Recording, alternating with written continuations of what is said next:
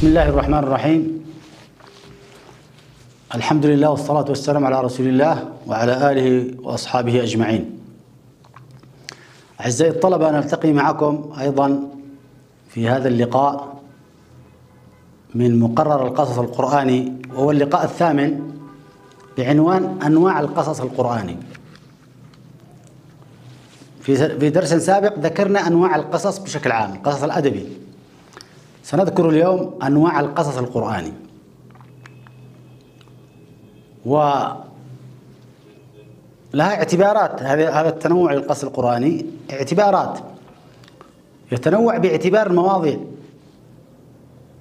كذلك يتنوع باعتبار الطول أو الحجم الحجم الطول والقصر. فباعتبار المواضيع سنأتي إن شاء الله سبحانه وتعالى إليه وباعتبار القصر والطول فهناك قصة طويلة تأتي تامة وقصة طويلة مجزأة وقصة قصيرة. هذه أنواع من القصص القرآني موجودة في القرآن الكريم. فالنوع الأول الذي هو باعتبار أو الأنواع الأولى باعتبار مواضيع القصة القصة ومضامينها نظر العلماء إلى القصص باختلافها فوجدوها على أنواع. باعتبار الموضوع قسموها باعتبارات أيضا أخرى. فمنها قصص الأنبياء وتضمن دعوتهم إلى أقوامهم أو لقومهم أو أقوامهم والمعجزات التي أيدهم الله سبحانه وتعالى بها وموقف المعاندين منهم ومراحل الدعوة وتطورها وعاقبة المؤمنين والمكذبين. ومن هذه القصص مثلا قصة نوح قصة إبراهيم هود لوط وغيرهم من الأنبياء الذي ذكرت في القرآن ذكروا في القرآن الكريم. قصص الأنبياء. النوع الثاني قصص قرآن يتعلق بحوادث عابرة وأشخاص لم تثبت نبواتهم. ليسوا أنبياء. مثل قصة الذين خرجوا من ديارهم من ديارهم وهم ألوف حذر الموت. فقال لهم الله موتوا ثم أحياهم قصة ذكرت تفاصيلها. لكنها نوع من نوع من أنواع القصص القراني بحسب المواضيع والمضامين. قصة طالوت وجالوت. ذكر الله عز وجل كقصة وفيها حكم وأنواع من الأخبار والهدايات. لكنهم ليست قصة أنبياء. حتى ذكر فيها داود عليه السلام. ليس كبطل أساسي في القصة. وإنما كحدث من حوادثها. ما قام به من قتل جالوت. قصة ابني آدم. واتلو عليهم نبأ ابني آدم إذ قربا قربانا. فتقبل من أحدهما ولم يتقبل من الآخر. قال لأقتلنك قال إنما يتقبل الله من المتقين. لئن بسطت إلي يدك لتقتلني ما أنا باسط يدي إليك لأقتلك إني أخاف الله رب العالمين. إلى آخر القصة. ليسوا أنبياء. وإنما قصة قرآنية لها حوادث عابرة وأشخاص يؤخذ منها العبرة والعظة. قصة أصحاب الكهف. كذلك هي من قصص غير الأنبياء.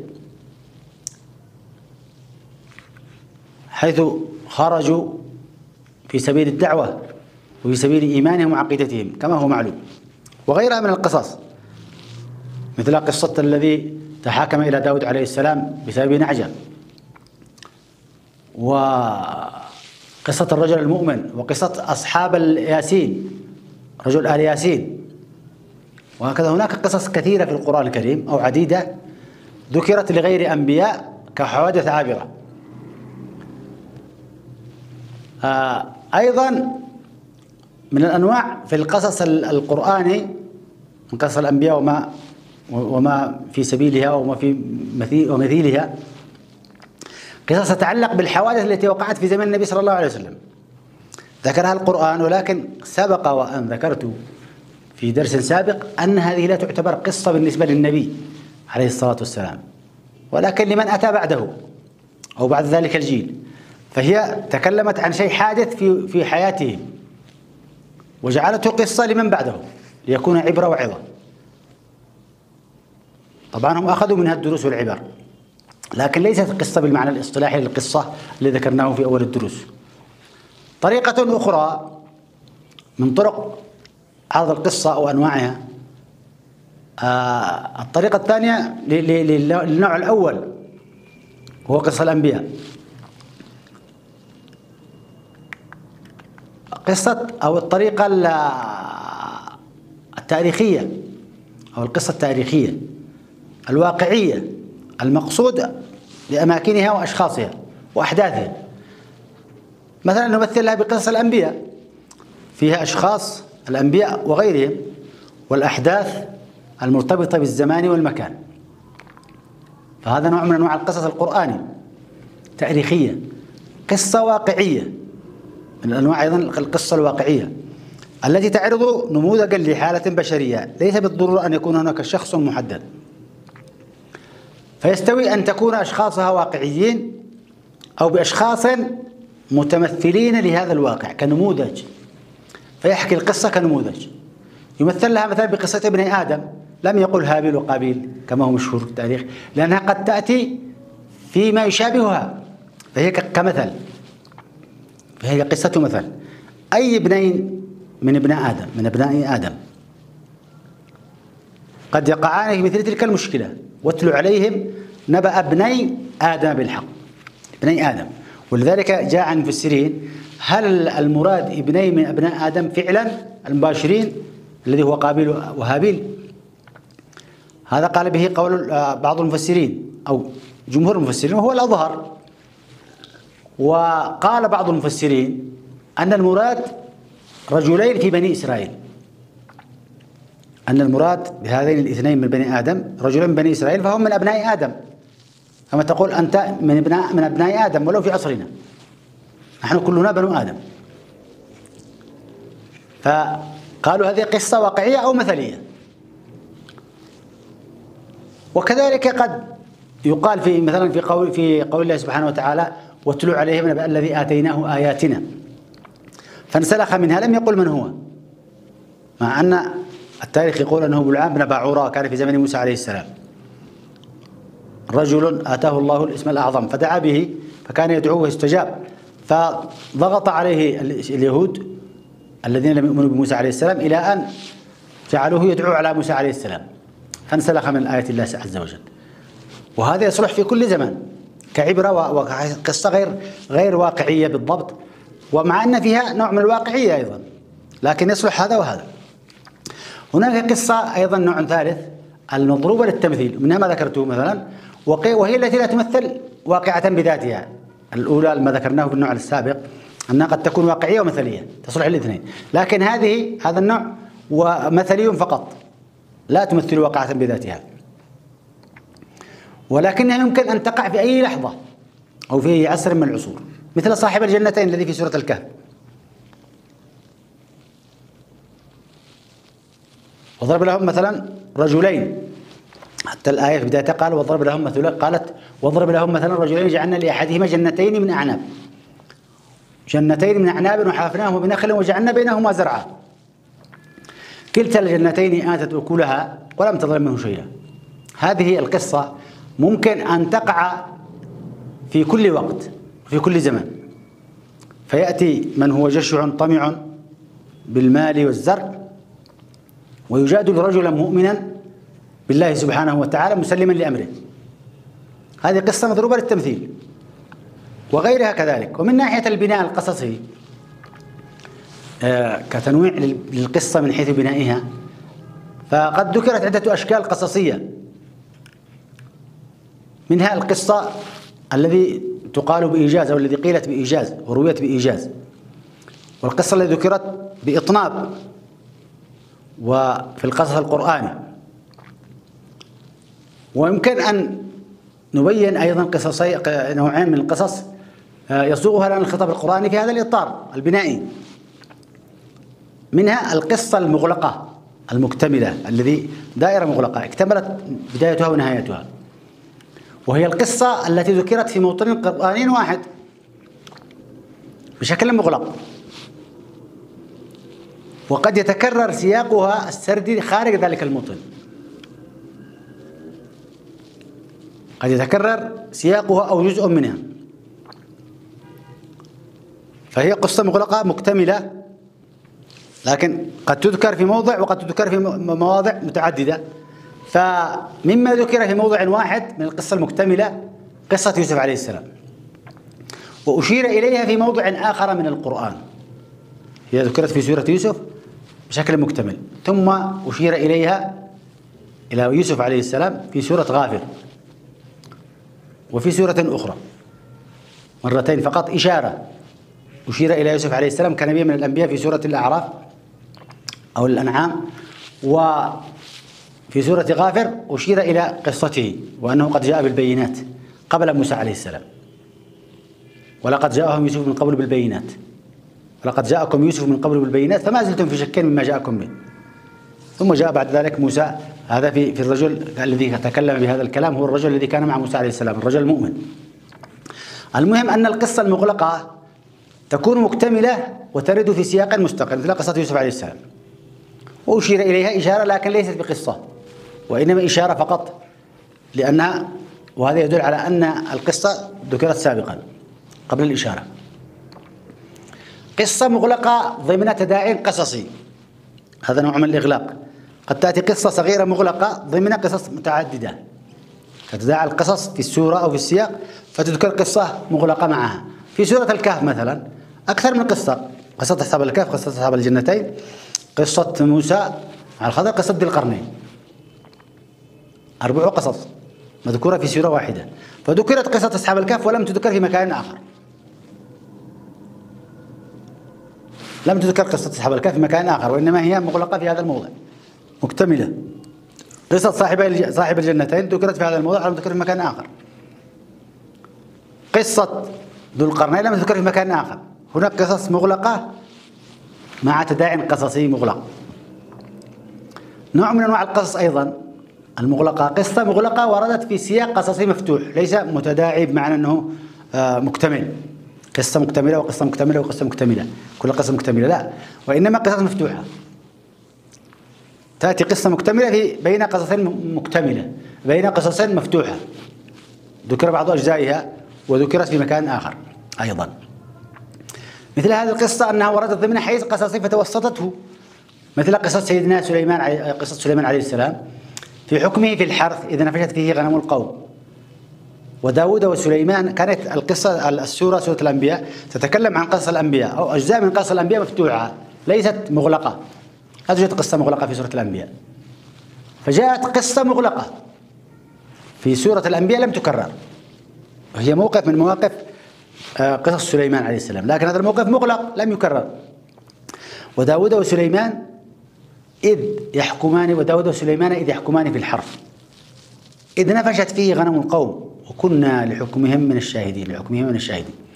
ففهمناها سليمان وكلنا أتينا حكما وعلما.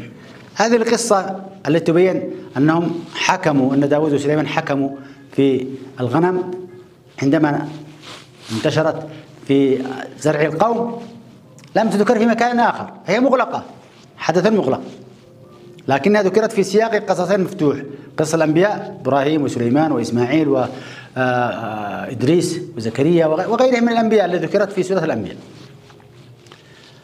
من أنواع القصص القصة الثانية النوع الثاني القصة المفتوحة. النوع العام قصة مفتوحة. ذكرنا قصة مغلقة وهي أنواع متعددة. تذكر في مواقف متعددة في أماكن متعددة كما أشرنا سابقا أو ذكرنا سابقا. وهناك قصة مفتوحة وذلك بأن يرد السياق السردي للقصة. معنى قصة مفتوحة؟ أن يرد السياق السردي للقصة في أكثر من موطن قرآني. وبتنوعات إخبارية وسردية. تتجدد والتجدد يكون كثيرا أو قليلا. لأنه لا بد من الاختلاف بين السرد والحوار والألفاظ والفوائد. آه كما سيأتي في لماذا تنوع القصص والسرد ويتكرر؟ كما سيأتي في الظواهر. ظواهر القصص القرآنية. آه على مستوى الشكل الخطابي أو من حيث الإفادات التي يحملها هنا التنوع في القصة المفتوحة. من مكان إلى آخر. إذا هذين النوعين نوع, نوع مغلق ونوع مفتوح من حيث البناء القصصي وذكرنا قبله آه من حيث الموضوع. عزيز الدارس اذكر بعضا من القصص القرآنية المذكورة في القرآن الكريم بشكل إجمالي وبينها إلى أين تنتمي من أنواع القصص؟ بين نوع انتمائها. إلى أي من القصص تنتمي؟ طبعا من قصص الأنبياء المذكورة في القرآن الكريم قصص المرسلين آدم ونوح إلى محمد صلى الله عليه وسلم. قصص الحكماء كلقمان وذو القرنين. نوع نوع في الإجابة. قصص النساء قصص الأقوام قصص الظالمين قصص المؤمنين قصص الحيوانات. أن تنوع في ذكرك للقصص وبين إلى أي نوع من الأنواع تنتمي هذه القصص. آه، هناك أنواع للقصص باعتبار الطول والقصر. ذكرنا هناك باعتبار الموضوع. فيما سبق بينا أنواع القصص القرآني باعتبار موضوعاتها ومضامينها. ويدخل في ذلك أنواع القصص من حيث بنائها اكتمال بنيتها أو يعني من حيث الجانب الفني مكتملة أو مغلقة أو غير مكتملة أو مفتوحة. الآن نذكر أنواع القصص باعتبار الطول والقصر باعتبار الحجم. شكلي تتنوع القصة في القرآن الكريم باعتبار قدرها وكميتها إلى قصة طويلة وقصة قصيرة. أما القصة الطويلة فإنها ترد في بعض الأحيان في مكان معين مكتملة مثل ما ذكرنا في قصة يوسف سابقا وقد تجتمع في موضع واحد فترد مرة واحدة في مكان واحد. مثل ما قصة يوسف قلنا وردت في مكان واحد. وقد تتجزأ هذه القصة الطويلة فتأتي في أكثر من موضع. القصة الطويلة هكذا. مثل قصة موسى عليه السلام تجزأت. قصة يوسف أغلقت في مكان واحد. قصة أصحاب الكهف أغلقت. قصة ذي القرنين أغلقت. أما موسى قصة موسى عليه السلام تكررت كثيرا جدا. قال بعض العلماء لماذا تكررت قصة موسى عليه السلام بكثرة؟ سنذكر هذا فيما بعد إن شاء الله سبحانه وتعالى. لكن أيضا هنا نقول أن أقرب الأمم إلى أمة محمد عليه الصلاة والسلام هي أمة اليهود أمة موسى عليه السلام. وتتشابه الظروف والأحوال بين الأمتين فلذلك كررت العبر والقصص التي فيها حتى يستفيد تستفيد هذه الأمة. القصة أيضا من القصة من أنواع القصص طول من حيث الطول والقصر قصة قصيرة وقصة إيش؟ طويلة. القصة الطويلة ذكرناها. والقصة القصيرة تحتوي على بعض العناصر في القصة. على عنصر أو اثنين أو جزئية واحدة في قصة لكنها تكون قصة قصيرة مثل قصة النحل وقصة النمل. سورة النمل وسورة النحل. أو قد تشتمل على كل عناصر القصة إلا أنها قصة قصيرة. فإذا القصص باعتبار الطول القصر ينقسم إلى قصة طويلة جاءت كاملة في مرة واحدة مرة واحدة وقصة طويلة مجزأة وقصة قصيرة. القصة الطويلة المجزأة هي التي أتت في عدة سور وأغلب القص القرآني من هذا النوع موزع على عدة سور من أجل الاعتبار والاتعاظ وتجديد ذلك الاتعاظ والاعتبار. مثل قصة نوح عليه السلام مجزأة لم تأتي كاملة إلا أنها جاءت في مواضع مكتملة أو فيها عناصر أكثر وفيها فوائد وفيها مواقف أكثر من غيرها من من من الأماكن أو المواضع. قصة هود قصة المؤمنون آه يعني قصة قصة هود عليه السلام قصة لوط قصة صالح. أما قصة نوح عليه السلام فقد جاءت مثلا في سورة الأعراف وفي سورة هود وفي سورة المؤمنون وفي سورة الشعراء في سورة القمر في سورة نوح وهي أكثر المواقف الموجودة هنا. في سورة نوح والأعراف. قصة يونس وفي سورة يونس في سورة الأنبياء في سورة الفرقان في سورة الصافات في الذاريات في النجم. يعني سور مكية. جاءت فيها قصة نوح في سور كثيرة. وكذلك قصة موسى عليه السلام جاءت في أماكن كثيرة. آه وغيرها من القصص التي ذكرت عن بعض الأنبياء وعن بعض المواقف والحكماء. فهذه الأنواع من القصص عزيزي الدارس تعود إلى نوع القصة الطويلة المجزأة. أما القصة الطويلة التي جاءت كاملة مرة واحدة فهي قصة يوسف عليه السلام كما ذكرنا. وقصة أصحاب الكهف لكنها ليست طويلة بقدر قصة يوسف عليه السلام. وقصة يوسف جمعت في سورة كاملة جاءت 110 آيات. تكاد أن تحصر قصة يوسف عليه السلام من كل جوانبها. في الآيات وما يستفاد منها حتى في الصفحة الأخيرة من سورة يوسف هي ما يستفاد من قصة يوسف عليه السلام ومن قصص القرآن بشكل عام. وطبعا قصة يوسف عليه السلام الحكمة في سوقها مساقا واحدا. أن فيها مواقف تشبيب بالنساء فيها غزل وفيها آه، عرض مواقف نسائية يعني مع رجال. امرأة العزيز مع موسى عليه مع يوسف عليه السلام. ولذلك لم تتكرر ولا فائدة من تكرارها.